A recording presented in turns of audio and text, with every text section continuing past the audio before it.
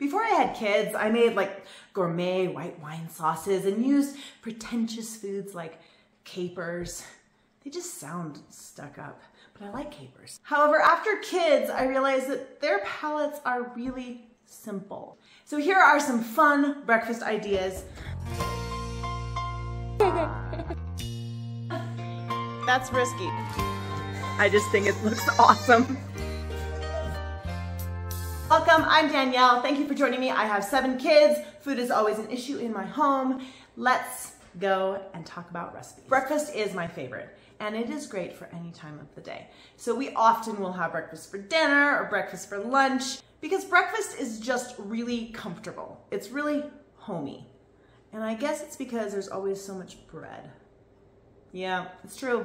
I do like bread. On Christmas Eve, it is my habit to, after I finish all of the other duties of the Christmas Eve night, I go in the kitchen and I do all our prep for our Christmas morning breakfast. Make ahead meals are just not only do I make ahead our personal family breakfast on Christmas Eve, I also make whatever I'm bringing to my parents' house for brunch. It's one of our big family traditions that when we go over to my parents' house for Christmas, we all bring a Pyrex of whatever.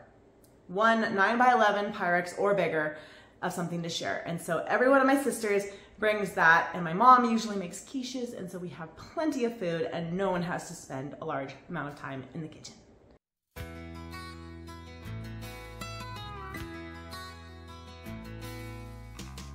All right, so we started with 12 eggs, two cups milk. I'm using rice milk because I often use rice milk.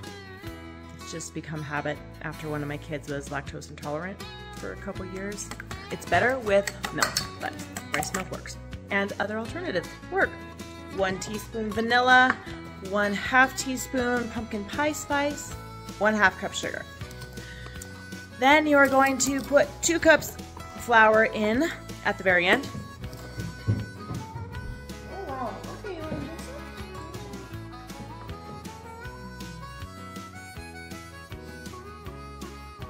Finally, you stick a cube of butter in a Pyrex and stick it in the oven while you're preheating it to 400.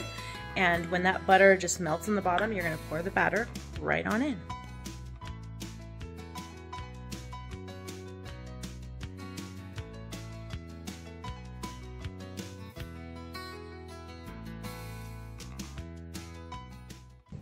second recipe I want to share is just a pancake recipe.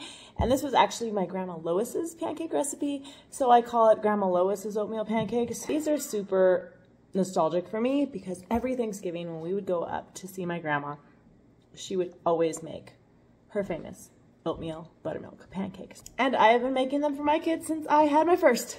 I'm making a triple recipe. I double or triple everything. And I very infrequently have any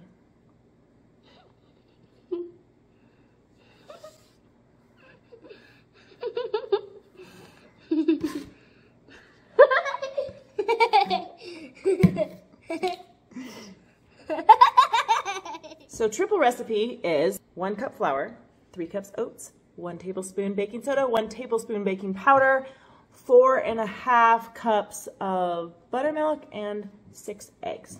These are just a little bit more hearty because they have the buttermilk and the oats and the eggs, so it's a pretty good breakfast.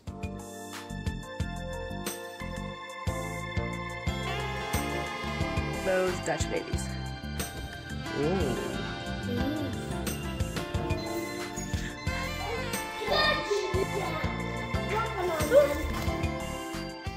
This morning I am trying a rendition of bread pudding.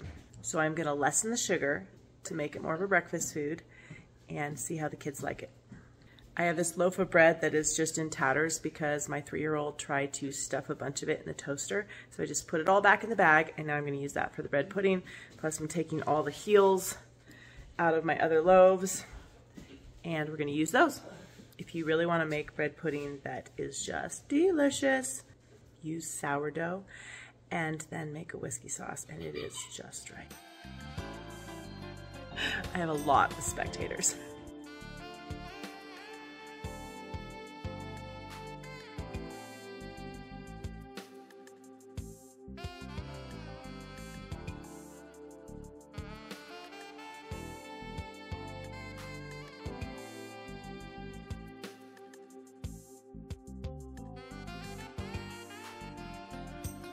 I probably ended up cutting about three quarters of a loaf of bread. And before I put it in the Pyrex, I just smeared about three tablespoons butter down, topped it off with one cup of raisins, and then for the egg mixture, I used four cups milk, four eggs. Now you can use anywhere between a half cup sugar to two cup sugar, and I used only a half, trying to keep it low sugar. Two tablespoons vanilla, one teaspoon ground cinnamon.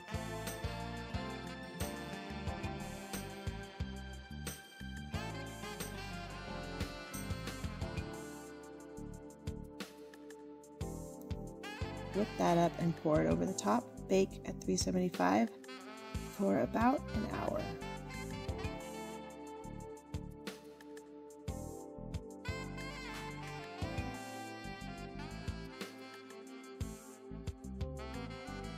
I really can't talk about breakfast foods without mentioning French toast. French toast is just always delicious. What could be better than bread of any kind, soaked in egg and cinnamon and vanilla and cooked in butter? Plus, you can dress it up with anything peanut butter, sour cream, yogurt, jelly, maple syrup, fresh fruit, nuts, frozen fruit, Nutella. Add a couple eggs over medium.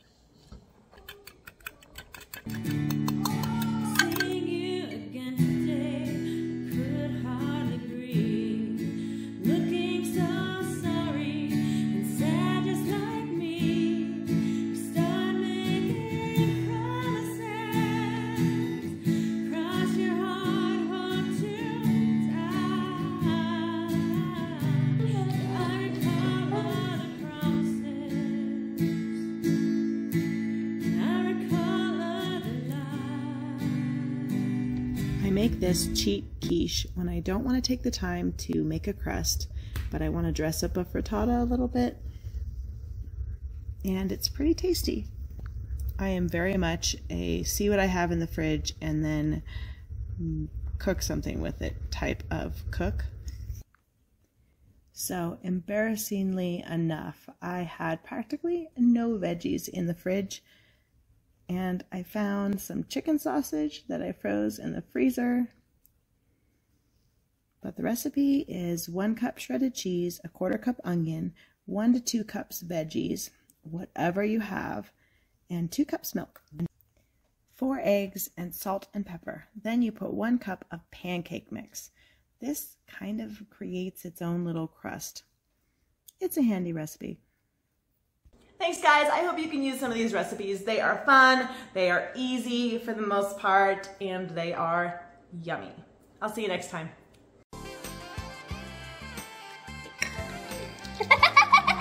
Hi, matey.